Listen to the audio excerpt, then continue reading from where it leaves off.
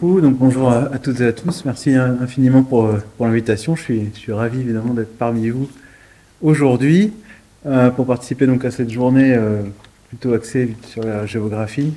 Et c'est un vrai plaisir pour un historien donc d'être parmi vous. Euh, tout d'abord, euh, je suis donc, euh, j'ai fait un doctorat d'histoire en fait consacré au, littoral breton et plus spécialement à l'histoire des stations balnéaires euh, bretonnes. Et depuis, euh, je continue à travailler sur mon sujet en étant rattaché à un labo d'histoire de, de l'université de Rennes 2, qui est mon université de rattachement. Et, et, donc, je continue à, à travailler sur ce sujet-là en intervenant dans, dans plusieurs groupes de recherche français et aussi étrangers, et beaucoup, beaucoup italiens. Et ce qui est intéressant, c'est que ça nous permet de rencontrer, et de nous rencontrer entre, entre spécialistes, entre guillemets, alors que ce soit géographes, et moi aussi beaucoup de sociologues. Je travaille avec une équipe de recherche italienne en, sociologie du tourisme, et c'est très intéressant euh, également de voir ce qui se passe euh, à l'étranger. Mais là, on va revenir sur le territoire national avec les stations balnéaires bah, du Grand Arc Atlantique, plus Manche, et un tout petit peu, on parlera un tout petit peu de la mer du Nord. Alors, eh ben, comme tous les historiens, on a, on a une volonté de, de, définir et de tout de suite attaquer la chronologie, puisqu'on ne peut pas s'en passer. Mais d'abord, vous allez voir, on va aller dans plusieurs directions, et j'espère qu'à la fin, vous comprendrez là où je veux en venir.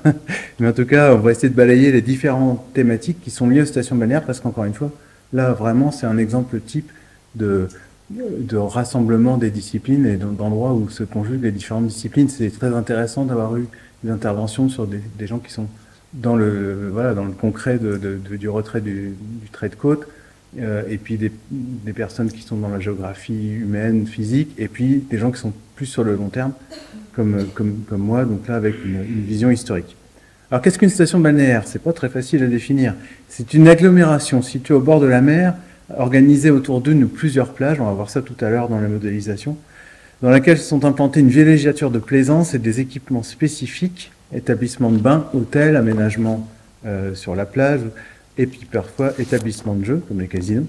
L'ensemble à destination de loisirs se caractérisant du point de vue économique par la saisonnalité de son activité. Et on va voir tout à l'heure qu'il y a la question du passage à la ville qui a été abordée un petit peu, euh, un petit peu auparavant, qui est quelque chose de très important dans la physionomie actuelle en fait, des littoraux euh, français, parce que ça touche vraiment toutes les côtes c'est-à-dire des stations balnéaires qui deviennent des villes à part entière et qui désirent le devenir, avec tout ce qui va avec.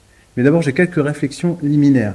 Le tourisme, en fait, depuis longtemps, il est examiné de chaque point de vue académique, c'est-à-dire du point de vue du géographe, de l'historien, de l'économiste, euh, de l'architecte aussi. Il ne faut pas oublier l'architecture.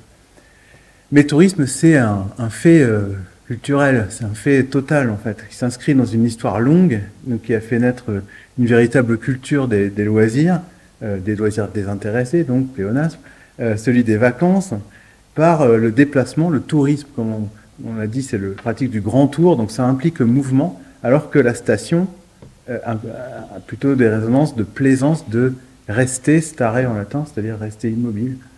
Et la villégiature balnéaire est donc une résidence. Le développement balnéaire donc s'est réalisé souvent par imitation de distinction, c'est-à-dire que quand une grosse commune balnéaire naît, eh ben, la commune d'à côté, si elle a quelques plages, elle veut faire comme son aîné. On va voir ça tout à l'heure dans la catégorisation des stations, ça a des répercussions. Euh, mais aujourd'hui, les stations elles sont confrontées à leur propre finitude. Et en dehors des facteurs naturels euh, extérieurs aux stations qui s'imposent à elles, comme l'érosion, la submersion liée au réchauffement climatique, mais aussi les pollutions, le tourisme a un paradoxe